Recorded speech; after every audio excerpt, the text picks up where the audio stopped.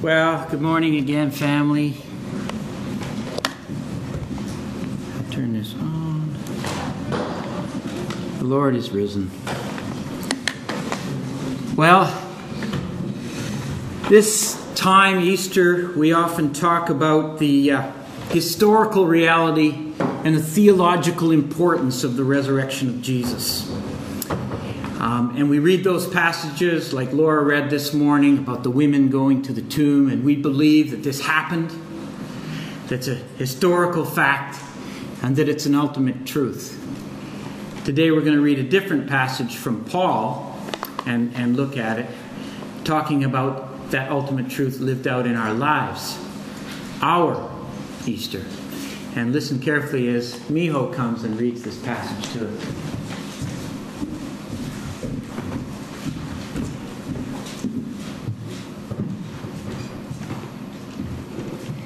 Since then you have raised with Christ. Set your hearts on things above, where Christ is, seated on the right hand of God. Set your minds on things above, not on earthly things. For you died, and your life is now hidden with Christ in God. When Christ, who is your life, appears, then you also will appear with him in glory. Put to death, therefore, whatever belongs to your earthly nature sexual immorality, impurity, lust, evil desires, and greed, which is idolatry. Because of these, the wrath of God is coming. You used to live in these ways in the life you once lived. But now you must also rid yourselves of all things as these anger, rage, malice, slander, and filthy language from your lips. Do not lie to each other, since you have taken off your old self with its practices, and have put on the new self, which is renewed in the knowledge in the image of its Creator. Here there is no Gentile or Jew, circumcised or uncircumcised, barbarian, Scythian, slave or free, but Christ is all and is in all. Therefore, as God's chosen people, holy and dearly loved, clothe yourselves with compassion kindness, humility, gentleness, and patience. Bear with each other and forgive one another if you have any grievance against someone. Forgive as the Lord forgave you. And over all these virtues, put on love, which binds them all together in perfect unity. Let the peace of Christ rule in your hearts, since as members of one body you were called to peace, and be thankful. Let the message of Christ dwell among you richly, as you teach and admonish one another, with all wisdom through psalms, hymns, and songs from the Spirit, singing to God with gratitude in your hearts. And whatever you do, whether in word or deed, do it all in the name of Lord Jesus, giving thanks to God the Father through him. Amen. Thank you, Miho. Wow.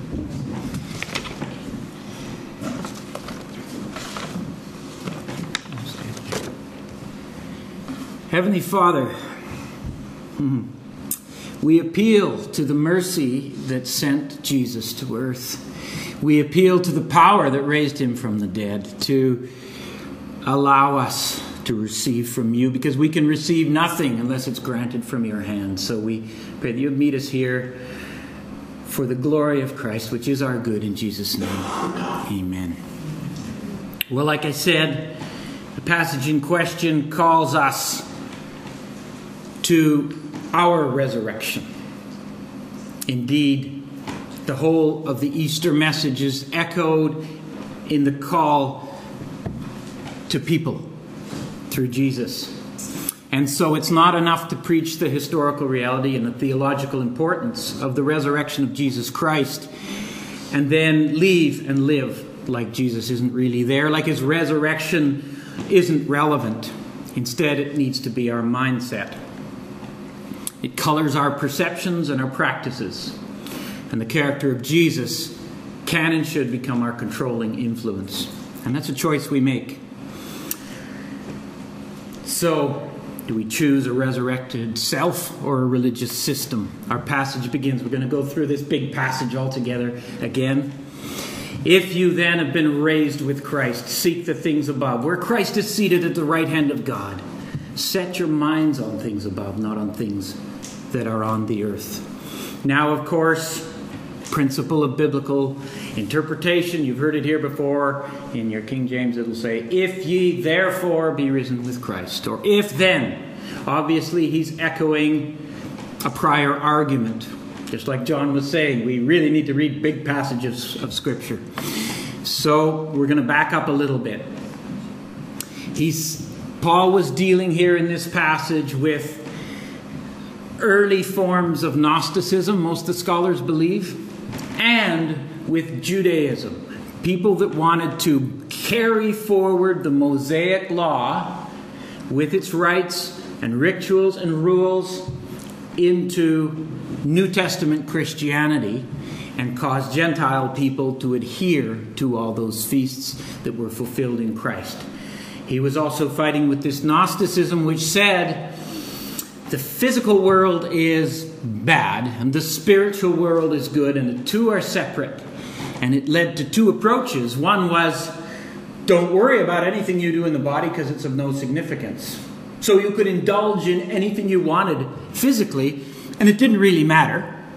The other extreme that Gnosticism took people to was deprive the body, starve it, be a ascetic. I always, somebody pointed out to me, I always said say that word wrong. An ascetic, just live in humiliation of the body. Some of your translations will say that in this passage. Humi- because the physical is bad. Two kind of opposite approaches came from the same idea, which wasn't the idea Christ came to present. So Paul is, is tackling kind of all three of these strains, we believe. So he says back just over your page in Colossians 2, beginning at 16, Therefore, let no one pass judgment on you in questions of food or drink with regard to a festival or a new moon or a Sabbath. These are a shadow of the things to come. Those Old Testament rituals, they were a shadow of the things to come, but the substance belongs to Christ.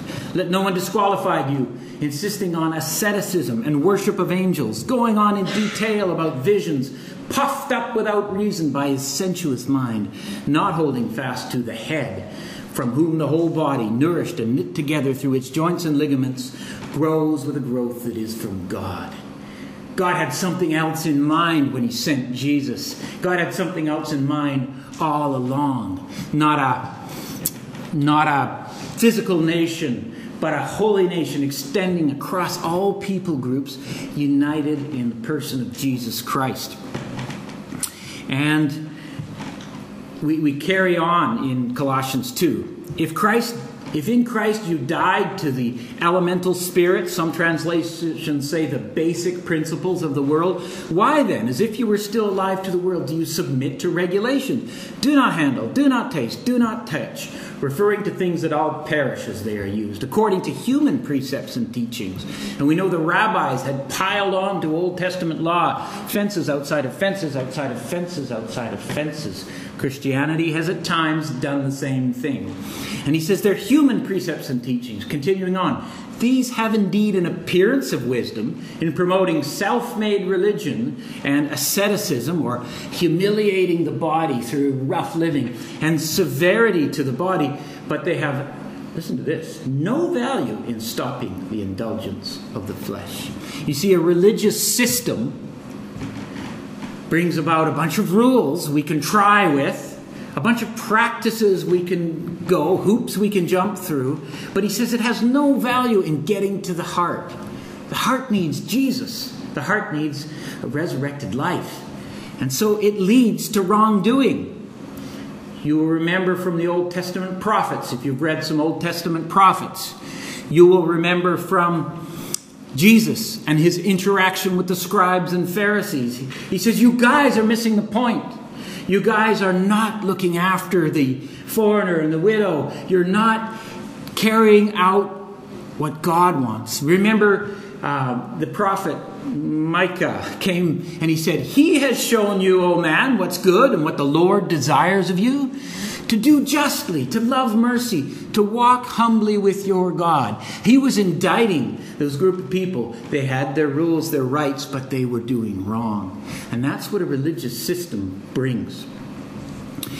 Now, the, what's the alternate?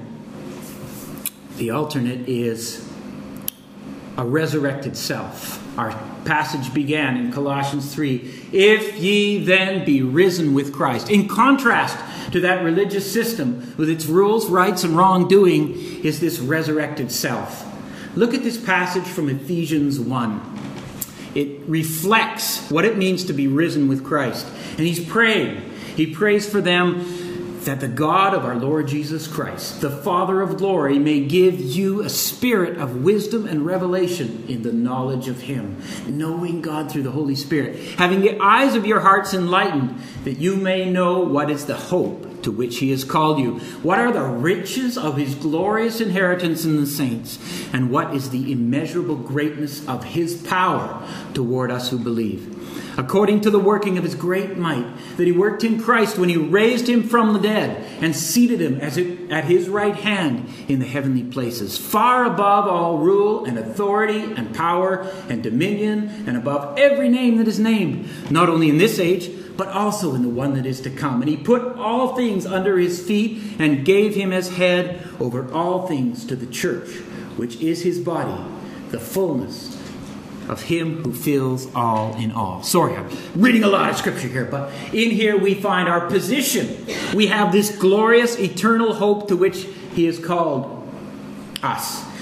The riches of God's glorious inheritance in us. Jesus, the King of Kings, is inheriting us and it's rich. That is quite a position for us as his redeemed people to be in. And it says, uh, further down in this passage, it seated him at his right hand in heavenly places. In Ephesians 2, verse 6, it says, God has raised us up with him and seated us with him in the heavenly places in Christ Jesus. A resurrected self has a glorious position in Christ.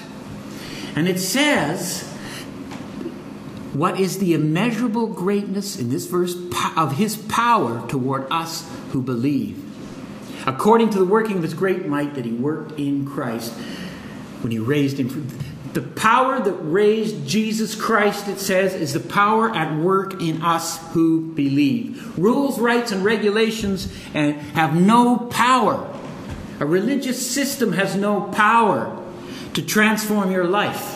But the power that raised Jesus Christ from the dead has power to transform your life. It's the only, it's the ultimate power. What a difference. And it says we have purpose because he gave Jesus at the tail end of this Ephesians passage, he gave Jesus as head over all things to the church, which is his body, the fullness of him who fills all in all. So when the head wants to do something on earth, what does the head do? The head moves the body. Right?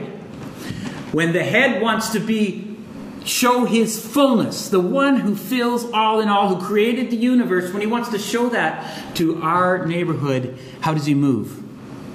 The body. So we have a tremendous purpose to reflect the glory of the one who made the universe, to do the good that the head wants to do in our community, in our family, in this world, is a tremendous purpose of a resurrected life. And so it is a tremendous difference between a religious system and a that is the next one and a resurrected self now, I, I wanted to linger on this for a second, if I might, because I think this is important. Because I said it's choosing Easter. This is one of the biggest things we have to choose and maintain. That having spoken the name of Christ, having confessed Him, having realized that we are separated from God by our moral inadequacy, that Jesus paid the penalty for all moral inadequacy, even though He was perfectly adequate and takes upon himself that punishment and offers his resurrection life to, to us. And we can confess with our mouth that Jesus is Lord and believe in our heart that God rose him, raised him from the dead and fall into a religious system. And so we need to choose it continually. We need to set our minds on things above, where Christ is seated at the right hand of God. Now, I brought something I've been doing Kids Club for a lot of years. This is fantastic. It was my dad's. The guys are going, yay. This is a really big crescent wrench. It's a lovely tool. With this tool, I can use my strength to affect cool things. I can do, I can make, I can fix. And if this isn't working for you, maybe a Bernina uh, sewing machine with automatic tension control and free motion quilting capabilities. Substitute whatever you want, but for guys, yay, big crescent. Hmm? You can You. You, do lots, yeah. This is a beautiful tool. Going to put it right there. Now, something that is often met with less enthusiasm in my life is when I bug my crew to wear them when they go forward on the barge, when I bug my nieces to wear them when we're out in the boat. Life jacket. Nobody wants to wear a life jacket. Ah, you know, a life jacket says something about you. A life jacket it restricts my movement. I don't feel free in a life jacket. I don't feel like me. It covers up my excellent fashion and my glorious body. It, I, didn't, I feel constricted in a life jacket. Moreover, it says things about me. Often, when I say to people, maybe you should put on a life jacket, they say, I'm an excellent swimmer. or they'll say, I'm a, I know my way around boats. Or they'll say to me, Don't you, what, are you a bad boat driver? Don't, don't you know how to run a speedboat? Why, why are you, right? It says something about us. Right? We feel demeaned. We don't need that. So it's obvious which is more popular. Now let me transport you to the middle of the Strait of Georgia. Land is miles away. Have you changed your mind? Who wants the wrench? Right? The decision becomes crystal clear whether we want help or whether we want our tools so we can do. Listen, when you're out in the middle of the Strait Georgia, we spiritually, we're spiritual, eternal beings. We're made to breathe the air of the presence of God. We're made to commune with the holy God. But because of the human condition, because of human rebellion, it's like we're bobbing at sea. And a religious system is, it would be like packing that wrench. I can do this. It, it'll drag you down. It's dragged many people further and further from the life God offers. Jesus comes and says, Put my life on. Take upon yourself my resurrected life. And people say, Oh, that'll cover up my excellent life. I'm pretty good at this. I, won't have freedom.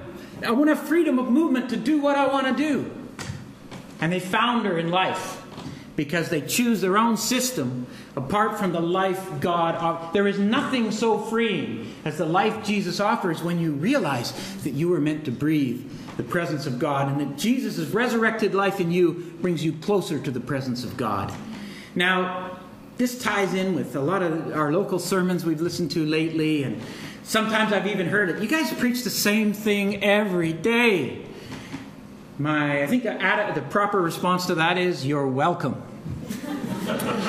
so, so the first thing about choosing Easter, the first thing about not making it just a historical event, but a personal reality, is to say, are you going to choose the resurrected life of Jesus in you, or are you going to choose a system of your own attempts to do right? Are you going to choose rules, rights that lead to wrongdoing?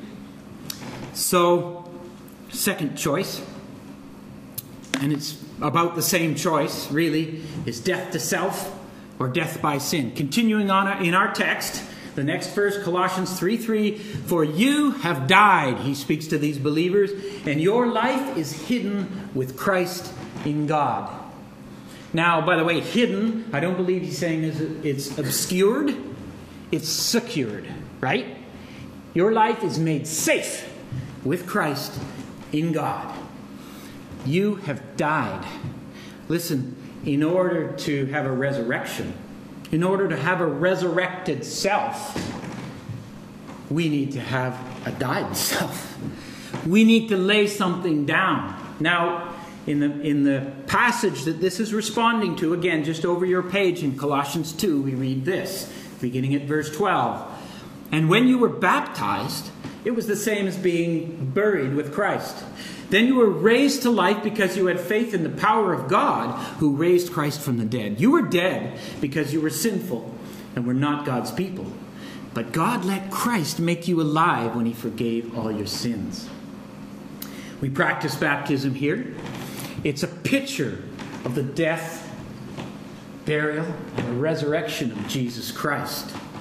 And um, this translation says, You were dead because you were sinful and were not God's people. If you were reading along in another translation, it might have said, the uncirc- in your uncircumcision.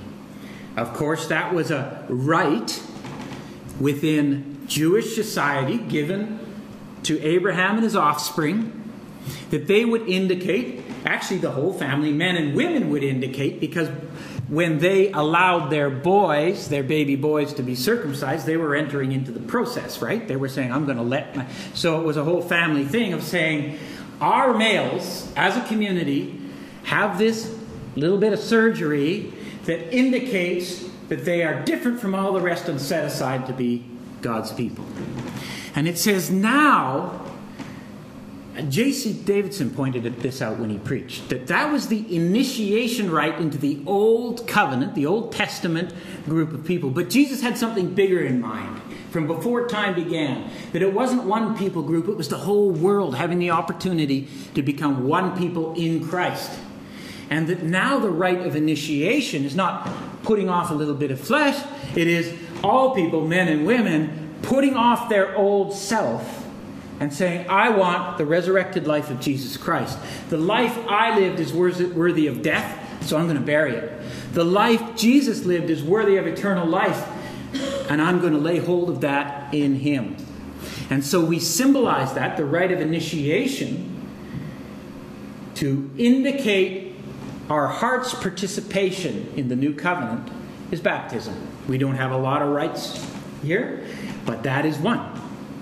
We go under the water, sim- symbolically dying to our old self, recognizing that our old self deserves to die, rising up, symbolizing the resurrection of Jesus Christ, recognizing that He offers His life to be lived through us.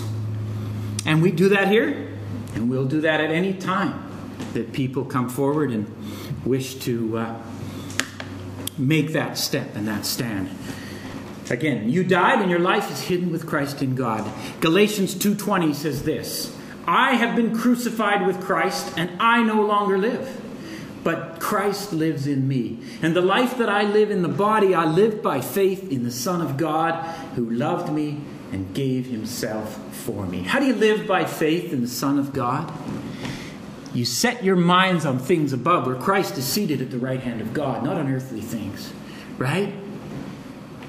You have that resurrection mindset that our text in Colossians began with. I've been crucified with Christ. People say, No, I, I don't want to lay my life down. But that is true life. That life is going. That old man, that, that fallen human nature, it's all going. It's all perishing. And Jesus offers his life. And so that is a choice we make. And so if we confess with our mouth, that Jesus is Lord. Lord, the King of our life, the one that is to take control. And we believe in our heart that God raised him from the dead. Romans 10, verse 9 says, We're saved. It's that simple. And people resist. People resist laying it down. Just like they resist accepting Jesus' help around them, lifting them up when they say, I cling to something that I can do. Thirdly and lastly, choosing my Easter is putting on Christ or poisoning our culture. And our text begins, we're picking up right where we left off here in Colossians 3, at verse 5. Now, wrap your head around this. He's just said, remember, we said it wasn't rules and rights, it wasn't do not handle, do not touch, do not taste. Those things can't save you. They have no power to curb the indulgence of the flesh, our passage said. Didn't use that word, but you remember, we just read it. Um, now he says, okay, get to work. This is the tension. This is the tension, and it's a very honest tension that we live with as Bible believing Christians. So he says, Put to death, therefore, since your old man died, put to death, therefore, whatever belongs to our, your earthly nature sexual immorality, impurity, lust, evil desires, and greed, which is idolatry. Because of these things, the wrath of God is coming. Full stop. Ooh, we hate that. Talking about the wrath of God, don't we? Listen, God loves His creation. God so loved the world that He sent His one and only Son. He hates what hurts His creation. These things listed here hurts His creation. God is not so much bullying to get His way for His personal tastes. God's tastes Righteousness is life. Sin kills and hurts people he loves. These things listed here hurt, kill, destroy. They suck the life out of people. You've seen it. I've seen it. Little by little, bit by bit along our pilgrimage, we've lived it. The wrath of God is coming because he hates what hurts his people. You used to, continuing on, we used, you used to walk in these ways in the life you once lived. But now you must rid yourselves of such things as these anger, rage, malice, slander, and filthy language from your lips. Do not lie to each other, since you have taken off the old self with its practices and have put on the new self, which is being renewed in the knowledge and the image of its Creator. Now, is there a confusion here? Let me share with you a, a, viewpoint that I've heard on more than one occasion. It says, Do not lie to each other, since you have taken off the old self. Now, I've heard it said something like this I have to be honest. And I feel rage. I feel anger. I feel impurity. It says, do not lie to one another. My honesty is integrity above all. So, how can you tell me to put it off? I act it out because I'm simply being myself. Yet, Paul says it's very active putting some things to death and others to practice. So there's a tension in that. But setting our minds on the glory of the risen Christ, as we are instructed to do at the beginning of our passage, demands that we move towards his nature. Actively move towards his nature. And Paul has no problem appealing for action on behalf of the Christian. He doesn't say, wait until you feel inclined to love, to act, even feel. He says, do it. And choosing not to do what Christ, our life, would do, when Christ, who is your life, appears, you also will appear with him in glory, we read. Choosing not to do what Christ, our life, would do, is choosing death death of relationships, death of communion with God, death, death, death. And so the honest thing to do is not to trust that voice of the old man inside, but say, hey, I put that to death and choose to be like Jesus. And that's why it's important to fix our mind on Him. He goes on and he gets more positive. He says, put this off. Now he says to put do some putting on. Colossians 3:10. And you have put on the new self, which is being renewed in the knowledge, it, renewed in knowledge in the image of its creator. How are we being renewed in knowledge of the image of our creator? How did we begin? If you then be risen with Christ, set your minds on things above. Set your hearts um, on things above, not on earthly things. Right? It is a resurrection mindset. Is it is a choice to live as a resurrected self with our minds on Jesus, that we become renewed in the knowledge and the image of our Creator.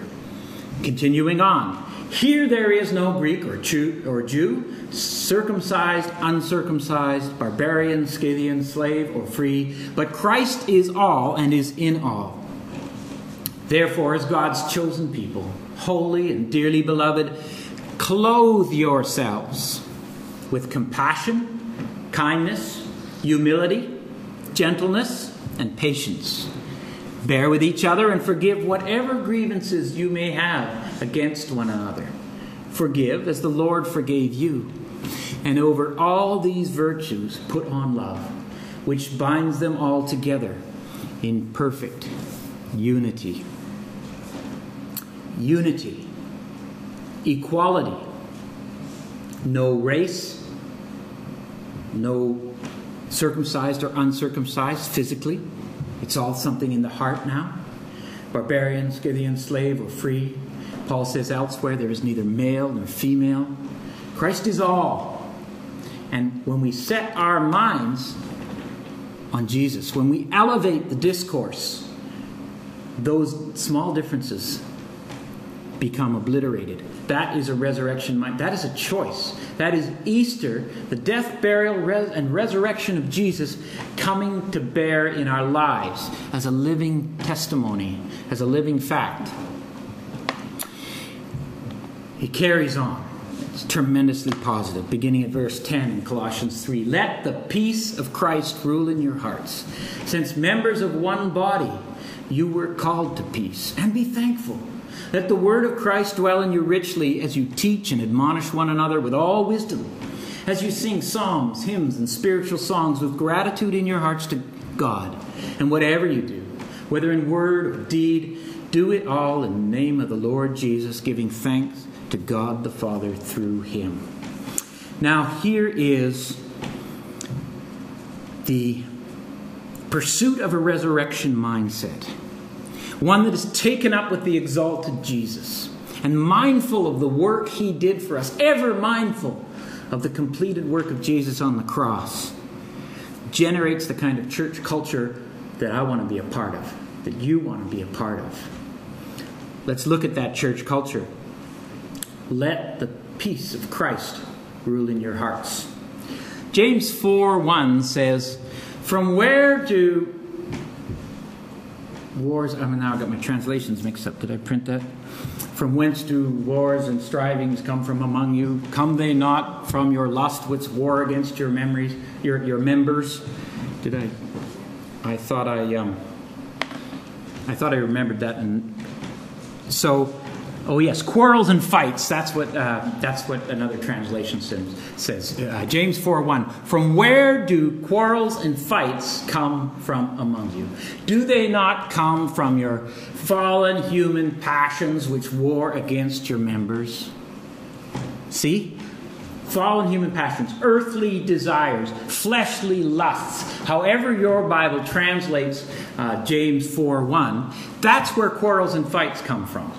Our text says, Let the peace of Christ rule in your hearts. So, fleshly desires create wars, create fighting, create strife, break up the unity of the body. Right? Desires for the excellence of Christ. Setting our minds on things above where Christ is seated at the right hand of God, remembering his compassion, remembering his mercy, remembering his power at work in us who believe by faith retunes our minds so that we don't have fleshly desires, we have desires for Him. Right? When we refocus our desires on the excellent character of Christ, earthly desires melt away, and those, James says, are the source of quarrels and fights among us. So let the peace of Christ rule in your hearts. It's directly tied to the beginning of this passage. Set your minds. Listen, it says, Set your minds on things that are above, where Christ is seated at the right hand of God. What are things? What's above? Isn't it Jesus Himself? Aren't those things the reverberation of His excellent character?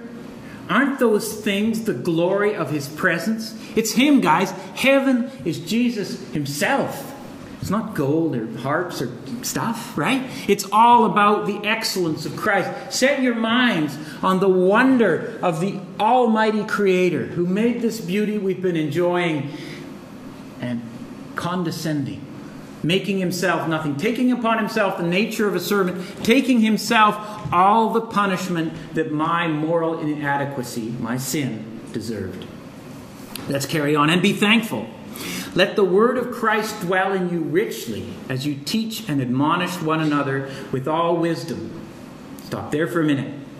Let the word teach and admonish. You know, I'm passionate about body ministry. Sunday nights, we've been talking about body ministry. We've said, who is a minister? Right? You are. Who's a full time minister? You are. Christian. Right? Always serving. The word means servant, right? Always serving Jesus, serving others in the name of Jesus. Everybody, not one big dude and a bunch of consumers. And it, look at this is what we have. This resurrection mindset, this choice to put on Christ, this choice to set our minds on things above where Christ is seated at the right hand of God because we are risen with Him, creates a culture where people are teaching and admonishing one another. Yes, there are gifts of teaching. I'll acknowledge that. Some have, some don't, maybe. Some, some say, you know? I just, I'll never be up there. Some of you will be up here, and you just don't know it yet. But, you know, there are, we can recognize differing gifts. The Bible tells us to do that. But it says, you are admonishing one another. You have wisdom, able ministers of the new covenant. You have wisdom to share with one another. This is the culture of a resurrection mindset within the church. There's peace and there's this mutual ministry. What else is going on? Ah. As you sing songs, hymns, and spiritual songs. Now, I've heard people try to break that down. I'm not going to take the time. I'm going to say all kinds of music. All kinds. Yay. Is springing up. He's saying He's saying a resurrection mindset, living as if Jesus really is alive and alive in us because he is, living by faith and tuning our minds to the glory of the risen Christ will generate worship. Now, worship isn't just music, we know that. Just kind of using that tag right now will generate worship in music.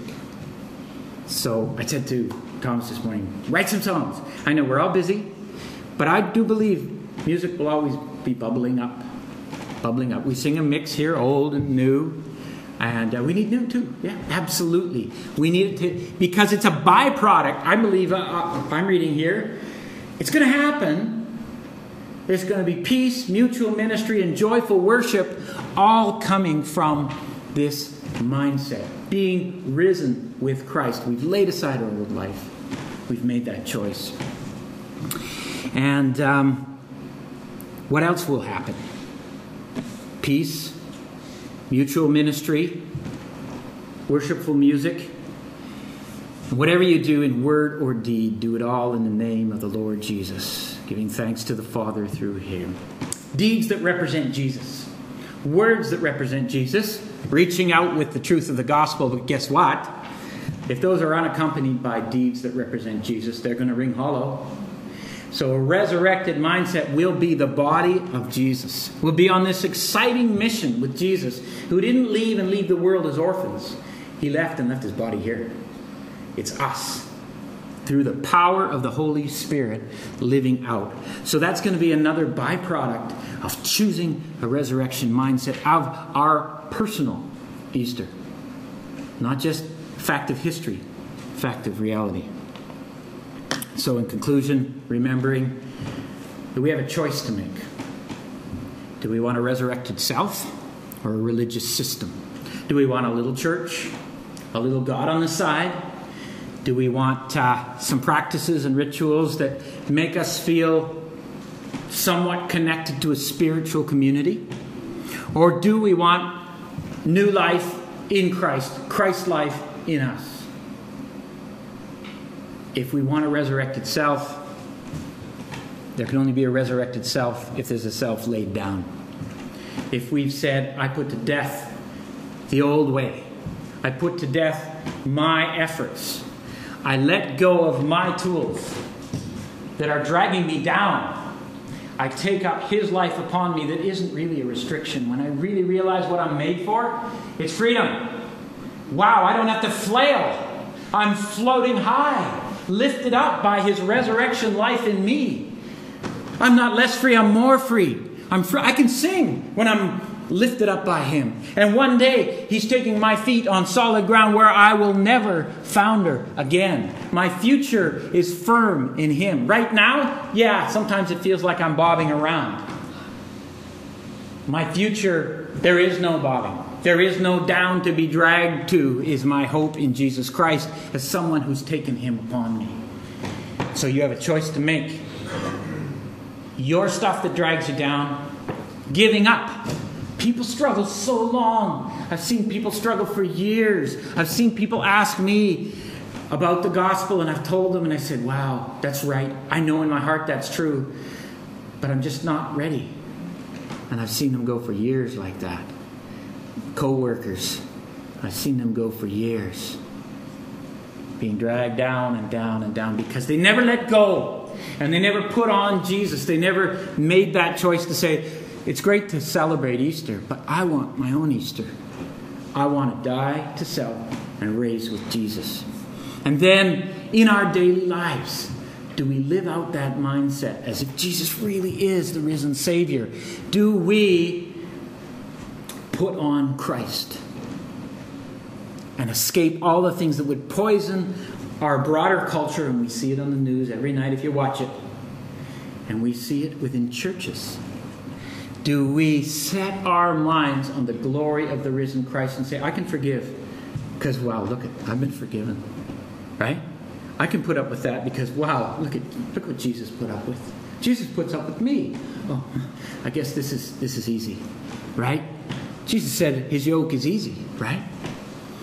Do we allow him to be our template? It's a choice, people. And it's a choice that it's important not to put off and to make yourself.